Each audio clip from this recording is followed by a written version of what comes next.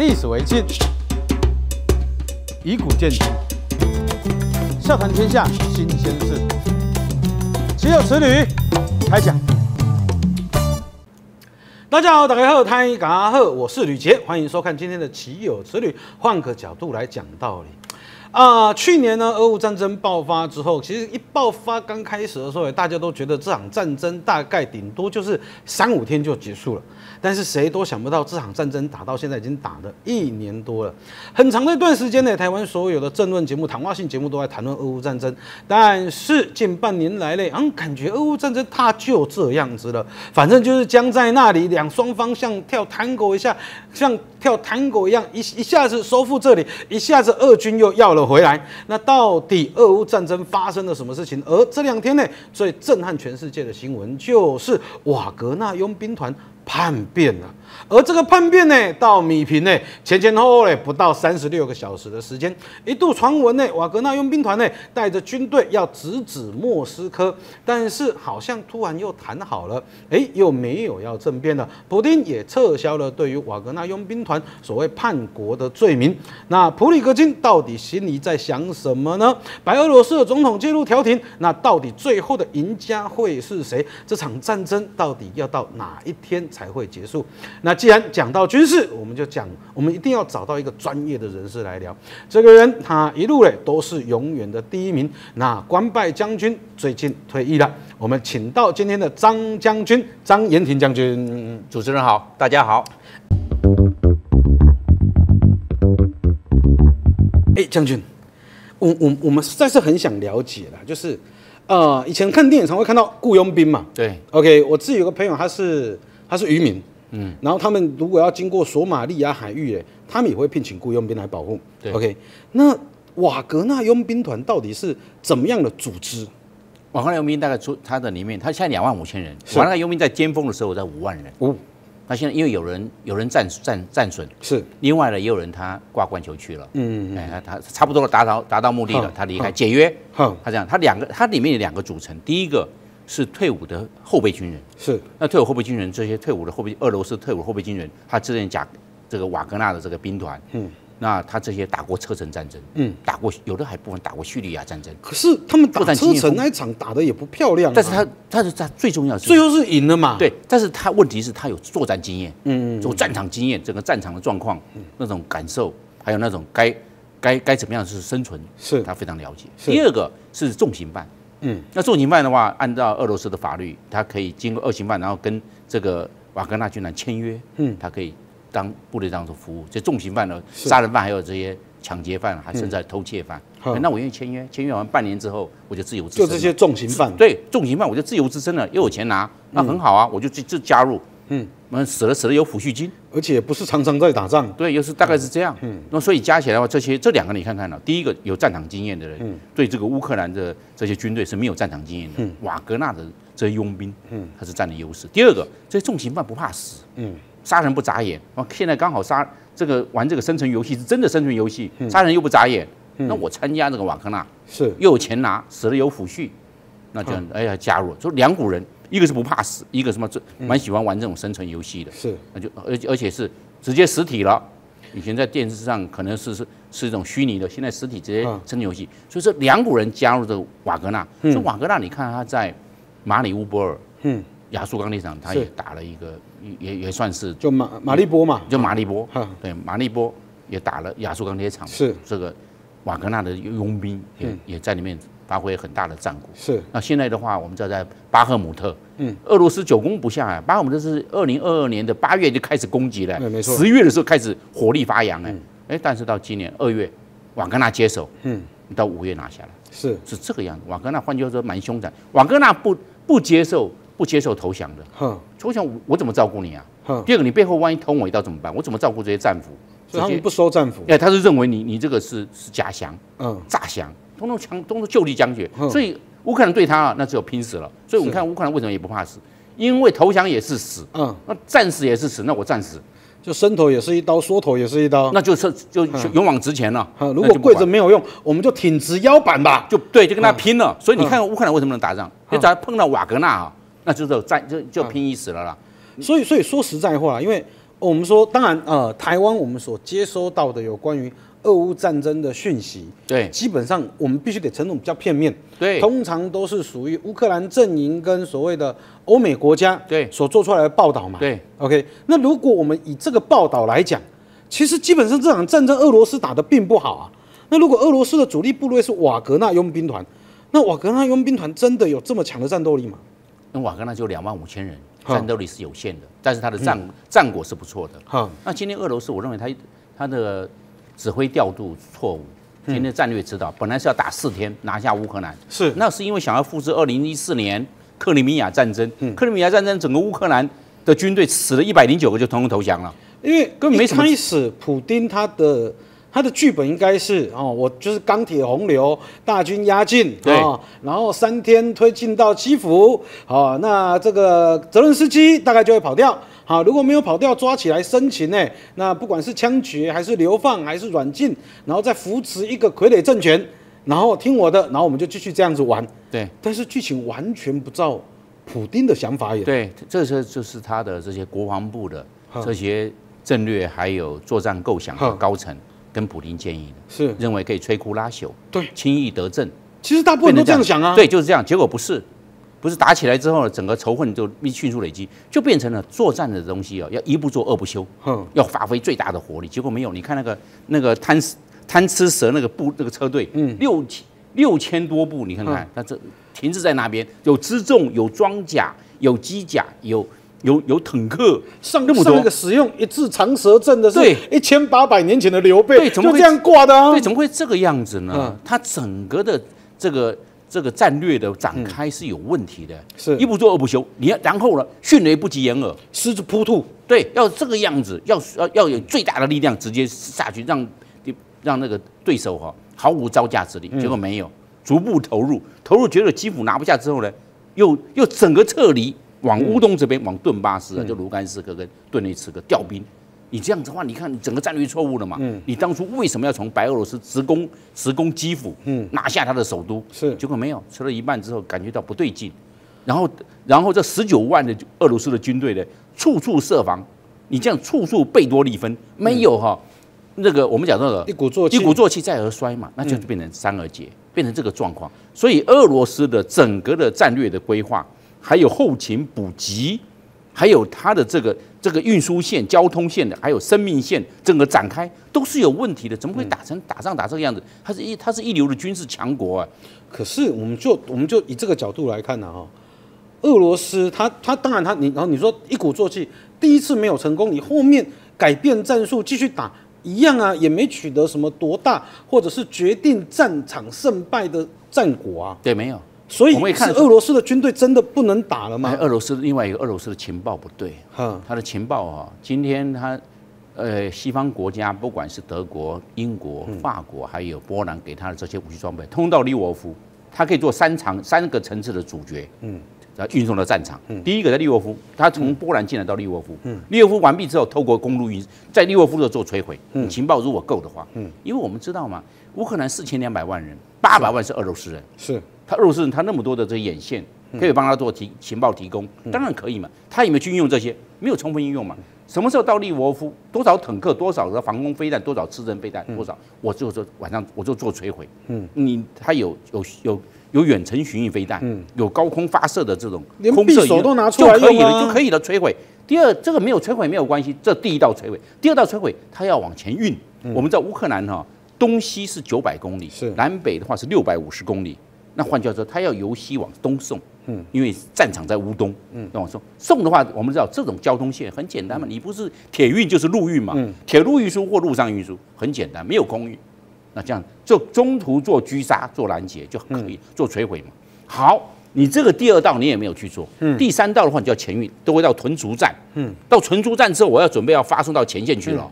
这些屯卒点呢，我们知道有前进屯卒战场屯卒在那个地方，就直接就摧毁了嘛。因为这个时候要开始要要要到前线火线发现战力了，没有摧毁到火线摧毁，嗯，你怎么前面三道没摧毁，变成火线摧毁？嗯，你屯卒没有摧毁，交通线没有摧毁，这个集散地没有摧摧毁，变成火线摧毁，嗯，你这样子他已经开始发挥火力了。嘞，是。对你发扬造成你的战损很大。是，所以俄罗斯我们可以看呢、啊打仗，我们知道打仗打运输线、打生命线嘛。嗯。我们断后断援嘛，你前面就变成乌克兰的军队就会火力不济、弹尽援绝，你这个时候刚好就可以把它做歼灭。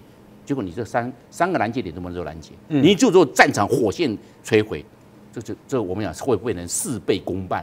因为你知道，像我有时候像我自己，我自己教历史嘛，对，然后有时候呃开直播跟网友在聊到，因为很多网友哦对于将军的定义就是哦武力高强，有没有？动不动哈战场上单挑一记头，我说你。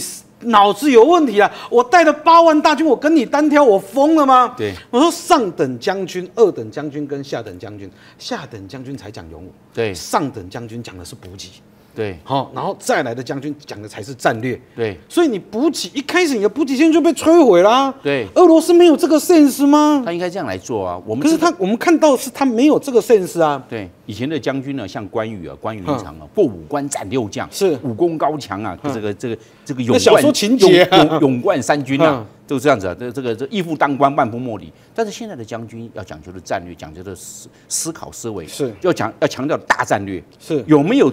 盟国战略，或者是再来是国家战略，再来是军事战略，最后面才有战场的野战战略。嗯，你要有这个，要要这个层次。你今天将军就是辅国之大臣嘛？因为我们刚才在讲到，就是哦，乌克兰东西九百公里，对，南北六百公里嘛。你有没有发现一件事情？就是俄罗斯这一次他并没有拿到一个非常确切、安全可补给的根据地。对，这个应该讲讲。因为你看哦，我们说中日中日八年抗战的时候，对。日本人的战术其实是要由北往南打，所以他先拿下满洲嘛。嗯，好，满洲拿下来之后，他们知道，哎，哦，这边稳了嘛，而且满洲哦物产丰隆嘛，对，好，矿产也很多嘛，他想由北往南打嘛。对。可是老蒋那时候战术什么？我硬逼着你，我开辟另外一个战场，从上海那边。对。好，这个淞沪会战，然后我把你的战场从由北往南逐步建立起你的补给线的战术，变成由东往西拉嘛。对。好，增加敌人攻击的作战的纵深嘛。对，所以我记得好像是冈村宁次还是还是东条英机讲过嘛，走了八年了，打了八年了，他还叫中国嘛？OK，那一样的道理啊。那难道普丁他没有考虑到这个吗？因为据我们现在看到很多报道，他的国防部部长基本上没什么作用，嗯，然后他的参谋总长似乎好像。也没有一些卓越的战术战略或者是大战略啊，这就是普里格军他这一次兵谏，嗯，我们叫秦王嘛，嗯，对不对？要清君侧啊，嗯，就这样。因为绍伊古国防部长当了十一年，是，他从二从二零一一二年，嗯，现在是二零二三年，当了十一年国防部长，嗯，那邵伊古没有读过军校，嗯，也没读过参谋大学，也没读过战争学院，真的是文人部长啊，没有，他是水泥工出身的嘛，嗯。他专科学校都读水泥嘛，搞建筑啊，隔房如隔山呢。他没读过军校，当了国防部，因为他是寡头，寡头有钱，普廷要选举，那邵伊谷我出钱嘛，出钱之后你当了总统之后，那是不是拉把我当国防部长？是，我是追着值得你信赖，国防部长掌军权交给你。但是问题是邵伊谷他他没有军事背景嘛，嗯，你看所有的共产国家，俄罗斯是共产国家，嗯，所有共产国家，全世界共产国家全部是军人出身当国防部长，中国大陆。呃，北韩香港是出政权，对，香港出人。古巴，嗯，越南，你看哪个国防部长不是？但是你今天俄罗斯为什么用一个水泥工出身的当国防部长？有没有战功？没有，没有。有没有军事素养？没有。有没有这个战略指挥能力？没有，没有。你就当不了。所以今天为什么绍伊古，今天人家就要秦王就要把他弄掉？今天普里格军为什么就是真正的就是绍伊古？就是这很清楚的嘛。因为绍伊古他一当当十一年，结果。打仗打得荒腔走板，而且又得罪了我们讲的瓦格纳。瓦格纳他有三个，第一个，我需要你火力支援我啊，嗯，火力支援我，今天火力支援我，我讲的目标方位的目标方位角经纬度告诉你，你现在打的是敦化国中，结果我的部队在搜狗百货，结果你打到我搜狗百货了，我跟叫你火力是是是敦化国中呢，那那我今天瓦格纳我不我死的是冤死了。嗯，对不对？因为重炮，因为这些瓦格纳打的是城镇战、巷战、近战，很厉害。他是火箭筒、枪榴弹，还有冲锋枪，他很厉害的。他，但是他没有重武器。嗯，你说瓦格纳有没有重炮？没有。有没有巡弋飞弹？没有。有没有战机大炮？没有。全部靠火力支援。但我把目标方位角告诉你，用火力点把它轰掉，轰掉我就上了，是这个样子。那那今天，嗯，就轰了轰到自己。第二个，我需要的补给你没给我，嗯。我我补给没有给，都没给我啊。第三个，你不能打仗，结果我打了仗，结果你拿勋章我没有。呵，我们知道人啊，这一辈子就为两件事，嗯，所有的人都是为了第一个为了这个权嘛，嗯，一个钱嘛，嗯，你就是为了权跟钱呢、你要的是哪一个？结果今天普里格军没有钱，嗯，你今天要给他们加饷嘛，加钱。我今天打的，今天打了坦克，今天打的飞机或者打的，你要给他们钱，嗯，结果你没有，你没给多少？第二个，你给没有给普里格金升官？普里格金六十二岁，哼，你今天升官的拿勋章，你给那个红场勋章嘛，还有列宁勋章，是给那个瓦格纳的这个指挥头子嘛，嗯，就安抚了。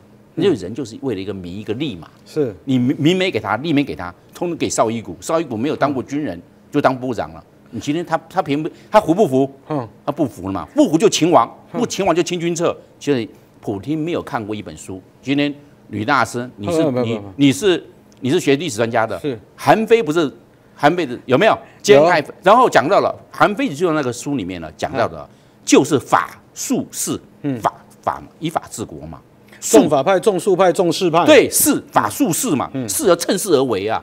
术的话，你要用统御，君王同御之术，对统御之术，他没有看，嗯他看了就知道，原来你普里格尼要了名利我都知道。嗯。我给你个红场勋章，嗯。我给你克里米姆克里姆林宫勋章给你。哦，他他得到了，我们比方了嗯，他得到了类似中华民国的青天白青天白日勋章，够了吧？你这就好保持你效忠。哎嗯，他就骁勇善战，在战场上勇往直前，带着他们。好，其他的人有有打坦克的，有打乌克兰的这个无这个无人机，你打下五架，对不对？通通按照这个样来论功行赏论功，行赏，钱给你，然后勋章给你，垒到五个，给你个勋章，给你个奖章。嗯，那这样的就不一样。没有，因为你是佣兵，你不是编制内，嗯，你是属于这个不算正规军，不是，因为你是杀人犯嘛，嗯，还有一个退伍军人嘛，退伍军人，你注意看的，哇，跟他旁边的人都白胡子都白了，我看他也六十岁了，为什么？他退伍军人，反正我老命一条，嗯，我如我一个月的话，现在月薪是十二万，哦，对呀、然后账十万在俄罗斯很很这短呀，对啊对啊，然后我如果不像走了，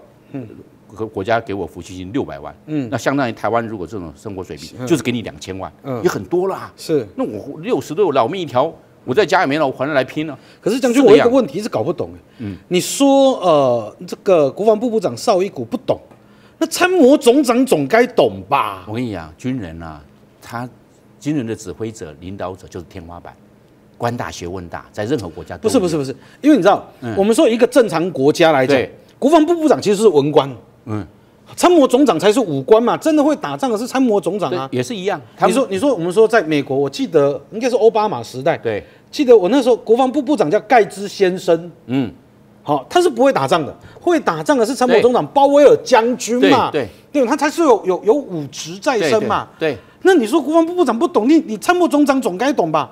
参谋总长，你的弟兄就这样子在那边白白牺牲，就像绞肉机焚化炉一样，一条一条宝贵的生命就这样消失。对不你马去甲总统讲一下，哎，总的呀，你别当安尼处理嘛？对，这个这个啊这个肖一谷是国防部长，他的参谋总长啊，嗯，也要听部长的。哈，在我们民主国家哈、你注意看美国的这些，刚才你你讲到的那个美国的国防部长，美国的国防部长如果是军人出身，嗯，要要退伍要超过七年，是。这规定是，没有超过七年要通过参议院通过，是。参议院特许通过可以。美国是，文官至上体对制，文官至上，嗯，他这样的话没有包袱，超然在统御这些这些武军，包含陆海空海军陆战队、还太空军，美国有五军是这个样，这是这是民主国家，嗯，共产国家又不一样了，嗯，那共产国家今天国防部长比参谋总长大。好，官大一级压死哎，人，也是也是一样，官大一级压死人嘛，嗯这个你很这个这个嗯这个这个历史上面太多了嗯对你非常了解的嘛。好，那他今天这样子，那今天肖一谷他的想法，大家都要按照他揣摩上意。嗯，你要知道军队也是一个报喜不报忧，哎是认为他战果很丰硕，呃会战果很败为丰硕胜，对你战果很丰硕，怎么会打到一年半？嗯，二零二二零二二二年的二月二十号打到现在，没有，我小时候在看是这种电影，我都觉得很奇怪，你知道吗？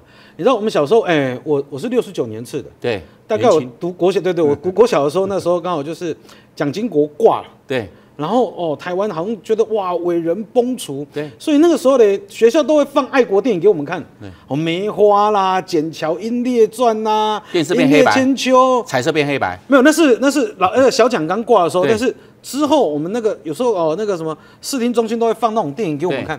我小时候在看那种电影，我都觉得很奇怪，因为你知道以前哦中影拍的那种那种抗战电影哦，都把日本人演的跟白痴一样。嗯我们那时候在看电影，那国小生在看电影。如果日本人跟白痴一样，你还跟他打八年，该看医生的是你呢。那现在俄罗斯战场就遇到问题嘛？你都跟我们讲，我们战果丰硕嘛？对。但是搞了一年啊。对。哼，呃，马利波一样在马利波，好，顿内斯克一样是顿内斯克，然后战线一样就是在那一条，往前三十公里，往后三十公里，然后就在那边晃来晃去，晃来晃去。嗯。你说。俄罗斯的人民没有感觉吗？呃，普京没有感觉吗？那这场战争到底在拖什么？然后瓦格纳佣兵团，他这一次到底是兵谏，还是钱谈不拢，还是走走过场，下下普丁，争取更好的福利跟条件？这这这个这一次普里格军就是被跟了，哈，那就是不爽，不玩了，哎，不爽，不爽，今天就我他就玩大的，哈，所以话事实上对普京来讲，他他是最大的输家，哈。对不对？你看看你是下面的，你的石铁杆也也跟你翻脸了。嗯，那你你是怎么样？你现在要不要要不要把绍伊古拔掉换掉？嗯，拔掉也不是。嗯，你拔掉的话，变成变成受了这个普里格军的影响。你不拔掉，的确就跟刚刚才吕大尼所提到的，你打仗打成荒腔走板。对啊，对你打成这个样子，损兵折将，然后把把俄国打成衰败了，变成这个状况，没有铺天盖地，一次就把拿下了嘛。很简单，你的国力够不够？军力够不够？俄罗斯不是很厉害，战斗民族北极熊。对啊。那现在怎么变成了北极猫？变成这个状况？我我我常跟很多人在聊这个话题，就是很多人说俄罗斯不是战斗民族吗？我说我战斗民族分两种，一种是会战斗，一种是爱战斗。嗯。就是会打架，嗯，跟爱打架是两码子事啊。嗯。因为我们从俄罗斯的历史来看，你我们我们深深的觉得一点就是，其实俄国对外战争很少赢。如果赢也不是他独立赢，可能有盟友有什么的，OK。但是你去打他，你也很难赢，因为国家太大。就大家去打俄罗斯，俄罗斯从头到尾就是一个战术嘛，坚壁清野嘛。嗯嗯。等冬天来你就受不了了嘛。所以我们说，纵观历史，真的把俄罗斯打下来的，好，其实就是蒙古人。为什么？蒙古人骑马，他速度够快嘛。那这一次这一场俄乌战争打到现在。啊，白洛白洛白俄罗斯介入调停了，你觉得功用大吗？因为目前来看，瓦格纳佣兵团的那个普里格金现在去白俄罗斯了嘛，所以有人说最大的受益者是白俄罗斯的总统，你怎么看这件事情？我认为这个卢卡申科在这一方面在政治的手腕是比较利索的，嗯，因为卢卡申科老大哥就是普京，嗯，他要靠他。那这一次的话，这次他立了功，把他摸摸头，嗯，那请过来，这个就就落幕了，这个。瓦格纳佣兵距离莫斯科将近一千公里，嗯，他前进了五百公里，对，前进了啊，停止，嗯，因为现在普京他他委曲求全了嘛，嗯，不审判，啊，不审判普里格军了嘛，是，所有的瓦格纳民通通无罪，没有刑事罪，啊，通通回到原岗位，你看就这这个是多大的对，顶住交手了，对对，完全嘛，他大输家嘛，可以看得很清楚嘛。那卢卡申科在介入调停之后，调停的非常成功，嗯，这样子的话。关家普京欠了卢卡申科一一些情，对，变成变成白俄罗斯在这方面的角色变吃加变吃重了。是，那白俄罗斯今天他今天我们知道他依附在在俄罗斯，哎，普京之下，他在这方面他他的角色变成动动静观战。但是我们现在看俄乌战争，俄乌战争不能不能谈判，要不要谈判，不是由两个国家做决定，是由美国。嗯，美国愿美国要不要乌克兰接受跟俄罗斯来谈？嗯，因为到现在为止，美国没有点头就不可以。嗯，美国认为要继续打，这符合美国国家利益，拖垮俄罗斯嘛？当然是这样嘛，他一定要这样。美美国的，因为现在乌克兰有三件事是抓在美美国手上。哪三件？第一件事情，将来战后重建要六千亿美元以上。嗯，这是最保守的估计。全世界哪个国家有那么多钱？嗯，谁能够拿得出来？嗯，那只有美国。嗯，第二个，将来要跟俄罗斯谈判的，谁能够在后面帮？乌克兰背书，挺乌克兰的，嗯，全世界也只有美国、法国、德国、意大利、英国，嗯，那算是老二，嗯，那还微不足道。第三个，将来泽伦斯基的生命会受到威胁，嗯，谈判完毕之后，这些乌克兰人有没有积极分子？嗯，你为什么要要接受谈判？我们可以打，你为什么要接受和谈？是，大概全世界能够保障泽伦斯基家人安全的，也只有美国。你三件事情都抓在美国手上，嗯，好。那现在，这个俄罗斯跟乌克兰两个人完全不信任嘛？嗯，没有互信怎么谈判？俄罗斯讲就现状谈判，嗯，我现在占领了十二万平方就现状谈判，嗯，就现状维持现状，嗯，不都不要都不要动，嗯，乌克兰说维持维恢复原状谈判，嗯，一个维持现状，一个是恢复原状，恢复原状你就从十二万平方公里从撤出去，嗯，乌俄罗斯会接受吗？现状谈判、现况谈判，乌克兰会接受吗？嗯，他变成整个是，泽连斯基变成卖国贼，谁敢谈？好，现状跟恢复原状都不拢，可能谈吗？不可不可能嘛？那这是这个状况。但是乌克兰现在有反攻，收了啊，收了乌这西方媒体说收复了一百二十平方公里。我认为乌克兰要有三大指标才能说是赢啊。春季大反攻没有，你去现在夏季大反攻，夏季大反攻也不会有成果啊。我判断出来了，西方国家怎么讲？是西方国家的事情，但是都按照我的我所预测的剧本走，是到现在为止是这样子啊。嗯，第一个，你有没有收复一万平方公里？没有，没有。你十二万丢掉，你收过一万，声势壮大了，我收回来一万没有。第二个。你占我十二万，好，你占我十二万，我攻入你俄俄罗斯十二万，不可能，美国不可能要打军俄罗斯啊，那就不可能了嘛。你占我十二万，你你打你的，这我也打我的，我也占你十二万，这个是什么？这是新加坡模式。嗯，新加坡这个城市国家七百二十八平方公里，你打我新加坡，新加坡有没有假想敌？马来西亚有，是有没有假那个假想敌？印尼他说都不是，我们没有假想敌。你就问新加坡的军人，我经常常常跟他们讲，他是说，你如果打到我，那我就让你。但是我打到你的地方去，嗯，你占我七百，我占你七千，嗯，是这样。所以你看，九六年那时候台海飞弹危机的时候，我们的天宫飞弹就升级嘛，对，增加射程嘛，对对，要这样。我们最少有反击的能力嘛，要有这个，要要有这个积极的作为。是好，那你十二万没有没有办法，就是你收复一万平方公里，你是力有未逮。嗯，你十二万占你十二万，那我占你十二万。嗯，你打你吧，你要你要你你的十二万，那你还我十二万，大家打平。第三个。非常关键的就是北约加入啊！哦，北约加入就不得了了。北约三十一个国家，是美国、加拿大加上这个欧洲的这些二十九个国家中，三十一个国家，嗯，那加那不得了。那世界大战呢？世界大战嘛，那叫叫核弹嘛，萨尔姆特或者这是匕首原点都出来了，会有这个样子。那那大家不愿意加入，因为怕，因为大家知道打核战靠国土面积，嗯，俄罗斯一一千七百万平方公里，那我不怕，我我我枚数又多，要玩大家一起玩，要死大家一起死，所以大家。不，原则上不加入。这三件事要有一件事情成立，成立，但是都没有。嗯，那都没有，对乌克兰来讲是不利的。是，换句话说，乌克兰有这个战果，是有零星战果，嗯，是有攻略一些村庄，但是你对整个大战略来看，没有决定性的胜仗，没有办法决定性。那你这样子说，你这乌克兰会胜利吗？我认为对乌克兰来讲，打下去之后，乌克兰损兵折将，到现在进来的，你看看呢，包含德国的豹二坦克给他，英国的挑战者坦克给他，包含美国的克。这我们讲的布莱德雷啊，嗯，就是 M two 啊，给他变成杂牌军呢。那每个炮弹口径不一样，有的是光膛炮，有的是滑膛炮，都不一样啊。而且训练仓促训练，那战力又是杂牌军，你怎么样去发挥？会造成困难，会有战力，但是零星战力，嗯，没有总体战力。那这样打仗也也会是会吃亏的。那这样换句话说，又没有空权，嗯，空权。你看到现在会打了一年四个多月。有没有划为禁航区？希望国家对不对？一年是我拜托你划禁航区，是俄罗斯所有的飞机都不能起飞到我乌克兰领土。这样的话，我最起码来自于空中的威胁，嗯，是会我可以立刻处理。对，我就可以交给北约就搞了。我空中我能交给你。嗯，你现在看呢，整个乌克兰军没有一架国际民航机，完全被打掉。是，那不算。我这个这个是战区哎。你知道我农历年去美国演讲，对，然后去美国两个礼拜嘛，巡回演讲两个礼拜，我们要回来，我从纽约飞。就台呃桃园飞纽约，纽约飞飞桃园这样。正常来讲，纽约飞桃园哦是十六个小时。对，桃园飞纽约是十四个小时，飞回来十六个小时。我们那一天飞了十九个小时，为什么？俄乌战争再起，是就绕道。对对对，就绕道。对，所以他们那边也没有划禁航区。然后双方目前看起来，不管是俄罗斯还是乌克兰，都没有取得一场关键性的战果。对。好，比如说我们说像啊，当年美国独立战争，人叫最好萨拉托加大捷嘛，嗯，整个局势开始逆转嘛，对对，他们也没有啊。那赵将军，你看这场战争到底要搞到什么时候？因为你知道打仗最怕的不是歼灭战，而是旷日费时的持久战。对，大家就在前线嘛。嗯，你说一战为什么一战为什么打到那么累？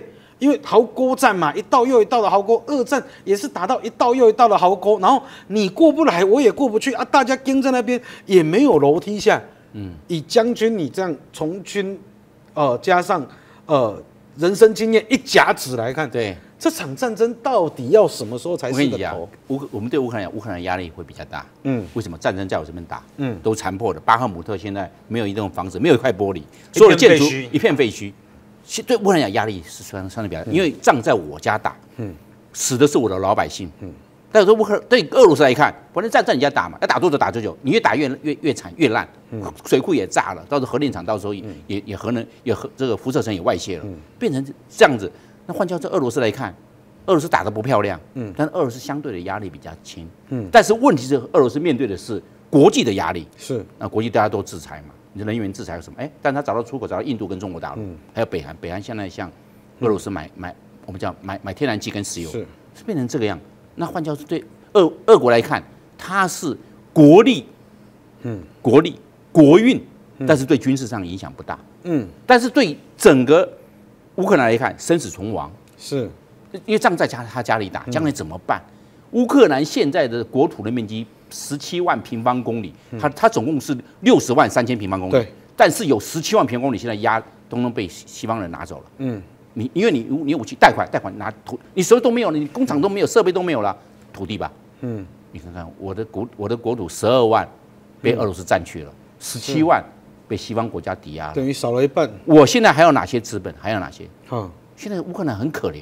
嗯好，那现在大家看谁撑得久？嗯嗯，那撑得久看谁是国国防潜力、国家潜力。嗯，那国防潜力、国家潜力啊，还是俄罗斯？可是将军俄罗斯这出了一个，我们知道了，这一个这个普里格军，嗯嗯，普里格军只是个小问题，茶壶内的风暴，大家看得很严重，我认为是不是马上就平息了？嗯嗯，他们有这方面知道三。十六个小时，哎，三十六个小时都通通停止了，不再前进了，不勤王了，不清军策了，嗯结束了，你也不也不审判我了，嗯，那本来不是审判，这个是大事情啊。是啊，你看看哎，兵变呢？兵变以前的时候，那个你看看那个张学良跟杨虎城，杨虎张学良终身监禁，杨虎城杨虎城满门抄斩呐，对，满门抄斩。你看那个、嗯那个照片，你我不知道你看到没有？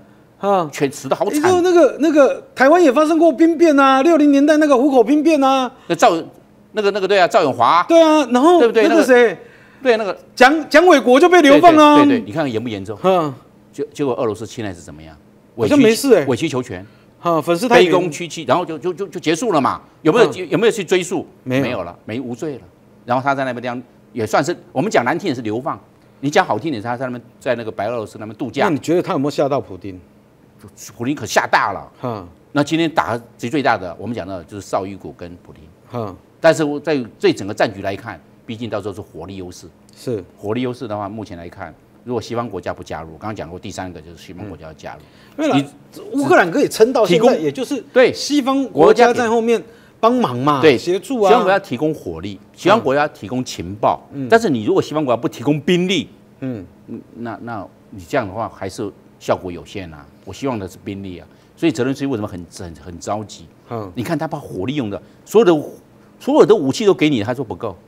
可是将军，你不觉得泽伦斯基真的很厉害吗？他他在这个国际上这一方面，因为他是个演员出身，是他虽然是读法律系，但他演员出身。因为你知道，像呃，我们我们回想到去年二月，呃，俄乌战争爆发的时候，嗯，美国有叫泽伦斯基跑嘛，对泽伦斯基不跑嘛，他说我现在需要不是一张单程车票嘛，我需要是子弹嘛，对。我需要是炮弹嘛，我认为他这个不错。对，然后那时候网络很多标语就出来了嘛，对，就是很多人在讲和平嘛，对。好、俄罗斯把枪放下就和平了，乌克兰把枪放下就没有乌克兰了。嗯，那现在双方都有雇佣兵，对，那你觉得乌克兰的雇佣兵能打吗？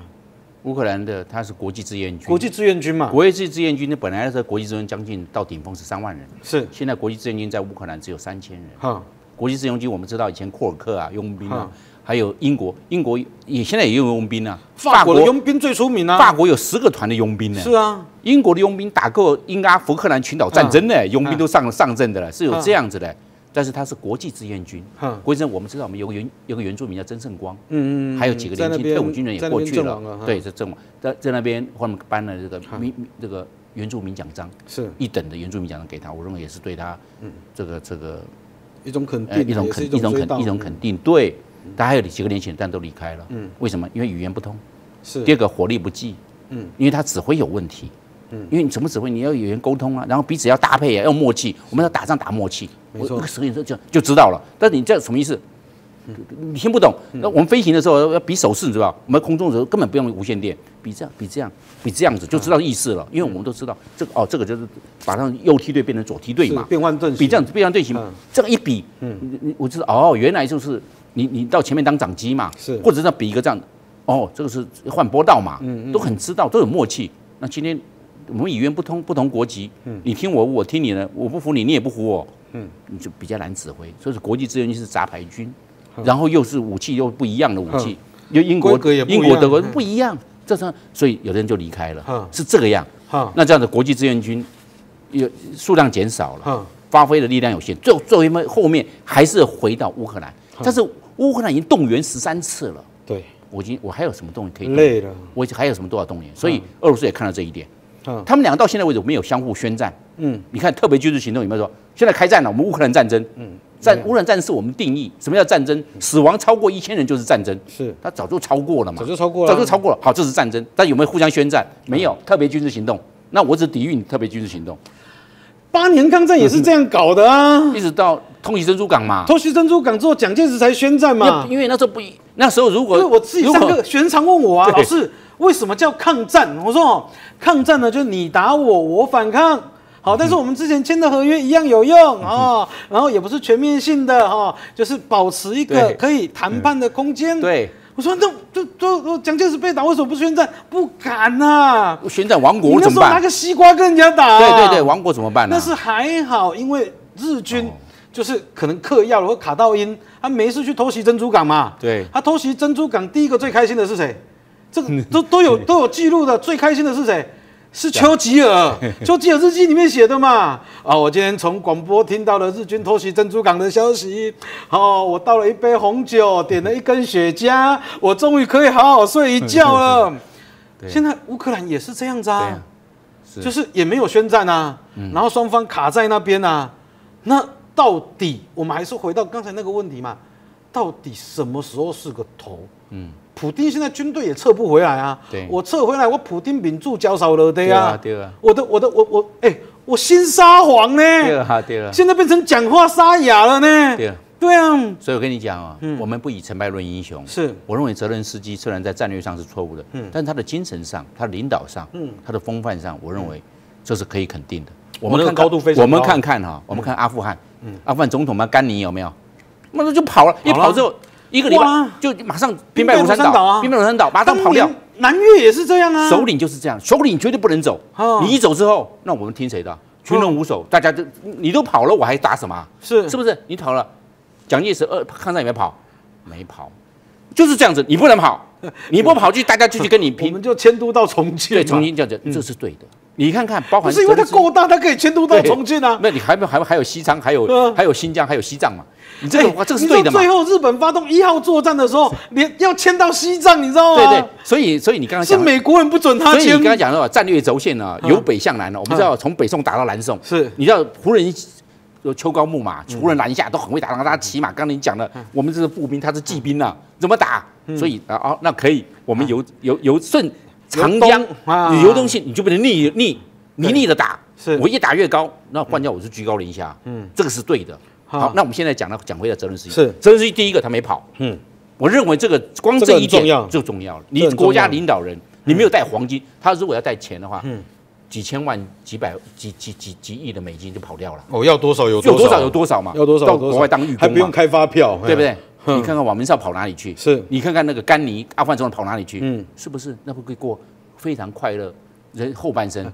对不对？当年美国也是这样建议蒋介石的。但是你看看他如果愿意这样做下去，是不是帮助？所以我认为我们不要以成败论英雄。今天乌克兰打到最后面，虽然我们知道是这个弹尽援绝，到最后面是会要割一些土地了。嗯，因为老共有讲你要要割一些。嗯，西方国家也也讲，但是他说不要，那不要就继续打嘛。打打到最后，你到时候我们叫形势比人强。是，到最后你是不是要接受？我就一直站在那边。嗯，因为四个州已经独立了。嗯，都已经俄罗斯都是变成俄罗斯的小喽啰了嘛？是，那那你这样你要不要接受？那是要接受。你连克里米亚也没办法收回来。当然，你有些战果，你炸克里米亚大桥，炸各个克制大桥，你可以可以有一些收复一些村庄。但是刚刚才跟吕大师所讲的，没有决定性的战果，你没有战略成果，有些战略战术上的这些小成果，嗯，那是没有办法累积大战略。嗯，所以我们来这样子来看，泽伦斯基的精神受到肯定，但是他当初的时候战略战略错误，嗯，要跟以俄罗斯为敌，嗯，在西方国家你没有加入北大西洋公约组织的状况之下，你以俄罗斯为敌，或者是让俄罗斯这边这边恐这个恐吓相相言的时候，你你硬要加入北大西洋公约组织，没有虚与委蛇。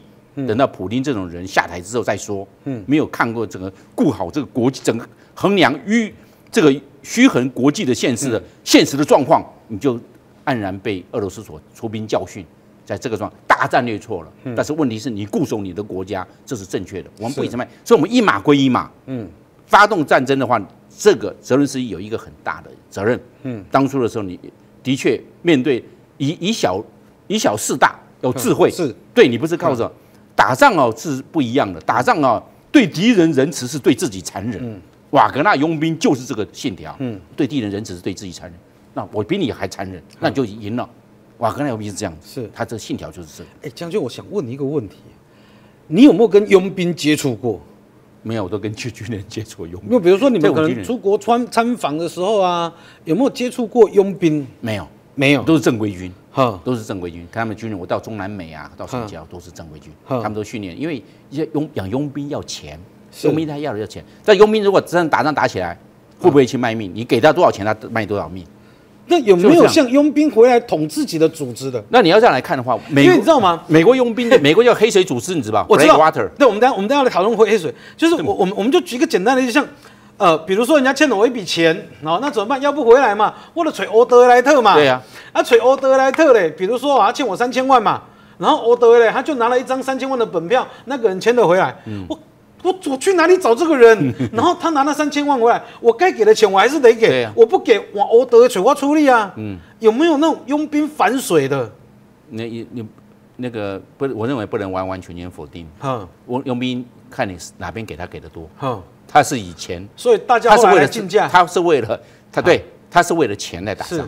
你给他多少，他就卖多少。哎，那如果说这样算算下来了哈，因为法国的佣兵也是举世闻名的哈。然后哦，现在俄俄国的瓦德拉佣兵团嘛，刚才那个将军提到美国的黑水嘞，美国黑水，美国黑水哦，他是退伍军人，你欢迎要加入，我可以告诉你，美国，你到美国国防大学，还有你到美国的 CNN，你去看过，到美国 CNN，它上面就是我们知道就是黑水，为什么？它上面写的 security，哈，就是安安我们讲的保全，保全哈，拿的就是枪，我一看，哎拿着卡宾枪，以前我也是打卡宾枪的嘛，就是卡宾枪，而且还有弹的哦，嗯，哎，这个是个女的，嗯，但这不是这 security，不是是不是不是军，是不是军队？不是军队，这个一些人这黑水，我们知道在伊拉克战争，嗯，还有波湾战争，这是黑水都有上去，是，那黑水的话，他是算是就算是佣兵的一种，嗯嗯嗯，对，你要自由自自由加入，你就自由加入吧。但是我也看，我到美国的军舰上，我已经参观过。我一看美国军，哎呦，怎么会有东南亚的人？我一看护士就知道，所以可能东南亚的人。因为美国招募也有些困难。嗯，美国这种退、这种、这种流退，我们讲的离退率也高。嗯，他就招这些。因为什么？我我我当了两年之后，我就有国籍，是漂白了。我现在要的是国籍，要不然的话，我美国美国有两千多万是没有身份的嘞。啊，对，对不对？他们非法移民对，非常多。好，那我加入。嗯，我就给你签，那超过两年之后，那我签一次四年，又有钱又有待遇，待遇也可以啦，不也不是很很很很也很总比你在空点嘛刚好啊，对，总总总总之比那个你我们我们讲的皆有嘛，红雷是。好吧？是。对，好来加入，一加入我一看到，哎，他美国的他很简单，美国做很多事情，大家按照 SOP，嗯，按照这个时候，我一看他们每一个人聚精会神都在那边做演习，就就在做图上兵推，我在仔细看，然后我看到这些都是东南亚的人。嗯，在在里面，哎，但是他军官在那边，因为这些琐碎的事情，军官不要去做，嗯嗯嗯，让这些去做就可以了。军官负责指挥，负责火力，火力分配。哎呦，美国是这样子，他强大，因为有些东西不要那么高档的人去做那么低档的事情。是，哦，是这样。Security 也是，黑水也是，嗯，这些东西我不要海军专美国海军专队很会打仗的，是，很厉害，交给他就行了。守个桥，交给他，我不要海军专队，嗯，海军那是高价，嗯。我叫黑水去守就行。嗯，好，那我很多人专门做重要的攻略。嗯，是这个样。所以美国你可以注意看，它就是一个企业的精神。嗯，简单的交给低价的做就行了。连军队都资本主义，军队也是这个样。我一看那些几个哦，因为那些都是树树树物的。我看到在船上那个船上拖地的那个，我就知道你跟我们所看到的移工啊一样。我一看，哎，船上是拖的，但是我我们我们也没办法做记录，为什么？是你的。你的手机、你的相机通通被收，嗯，因为你在参观。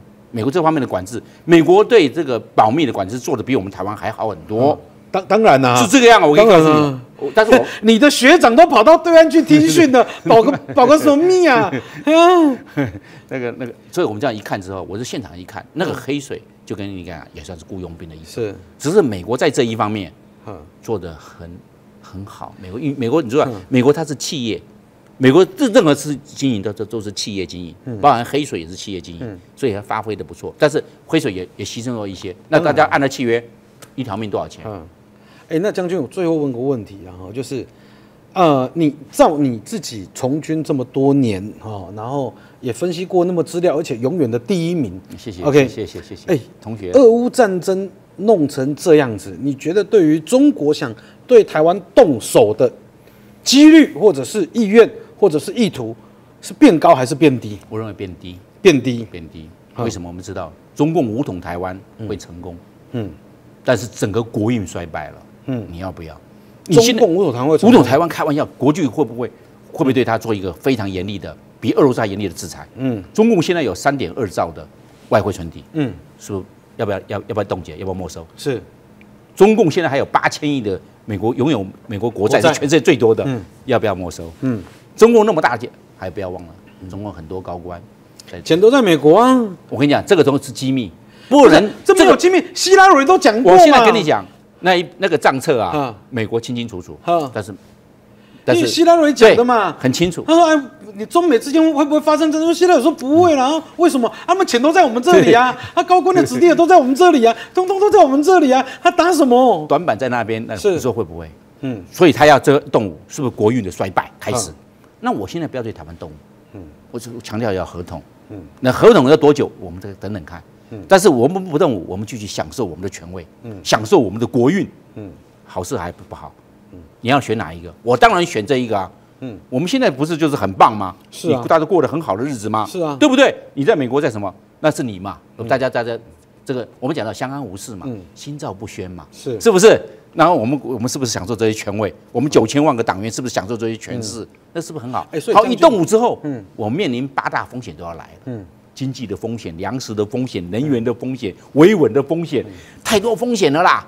是。我我我我我会睡不好，你就跟你刚刚讲的了，普京在睡不好。啊，那个丘吉尔啊。在在一九四零年呐、啊。就是一九四一年呐、就是民国三十年十二月八号以前呢、对对对偷袭睡不好但是十二月八号那一晚上睡得很好好，睡得很好，抽雪茄，喝咖啡，红酒，然后给自己加菜。嗯。呃，是那你要不要就过这个日子？好，当然过这个日子嘛，人会，我跟你讲，嗯，人很聪明的啦。那将军，我最最后我们再追加问一个问题啦，你觉得哈，两岸之间会不会真的发生所谓的严重的军事冲突，也就是战争？我我认为小冲突不要避免，小冲突小是不会避免。嗯我认为大的这种冲突，我认为这种制约的条件、客观环境的制制约太多了，是。所以大的冲突不会有，因为这些都会有动作。嗯，你是不是要要这个情报动员？是不是要做军事动员、后备动员、医疗动员、外交动员，通通都要做？有八大动员，我都有而且。现在满天都是卫星，很清楚的你军队一集结，我们对就知道了。所以所以是要认为，但是我们今天有一个好的地方，就是说，我们天天都在关心这些军国大事，是这就是好事了是。你在讨论军国大事，就是表示你看到了这些现象。最怕甚至你没有看到，嗯，你看到了。OK 的，我们知道你开车或什么，你晚上啊下楼梯你这么关灯，你啊你没有看到那个街，其实下面你突然踏空，你还会跌倒嘞。哈，你就因为你没有看到，只是一阶而已。是。但是你如果看到了，哎，那就安全了。啊没所以我们来讨论问题嗯，来看这些问题，这就是安全的事情。哪一天我们漠不关心了哈，那我就认为这就不好，问题才大。就出来了问题就你就没有看到这些问题，没看到问题，风险就藏在这个问题没你没看到的地方。是。